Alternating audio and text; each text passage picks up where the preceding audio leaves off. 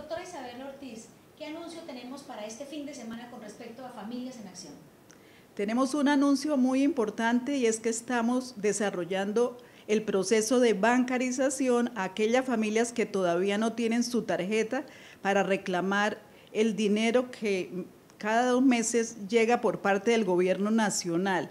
El 2 y 3 de julio en el horario de 8 a 4 de la tarde y en el Coliseo Edmundo Luna Esperamos que las familias que están seleccionadas y que están en los listados aquí en la alcaldía y también en Familias en Acción se acerquen. Los estamos esperando, las estamos esperando. Es, es una gran oportunidad de recibir esta tarjeta y de no tener que seguir haciendo la cola eh, de giro. Entonces, todas las mujeres... Eh, líderes que nos ayuden también a, difundir y todas las mujeres titulares que están en los listados, allá las esperamos.